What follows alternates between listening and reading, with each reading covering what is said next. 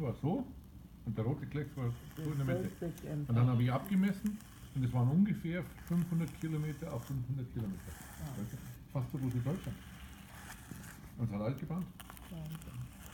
Wenn du dein Haus in der gerade hast, ist alles weg, kannst du nichts Und machen. du kriegst ja normalerweise nicht einmal Versicherung für das. Weil in solchen Gegenden versichert sich ja niemand. Weil da ist ja keine Firefighting mit da. Lebt ja keiner da oben. Ja? Da das oder was? Ja, ja. Für die Ewigkeit, Amen. He's filming it. Funny. Ja. He's Der, der, filming der, it. die Strömung ist El Nino. Ja. Ja, aber Ja. weißt du, es gibt diese verschiedenen verschiedene.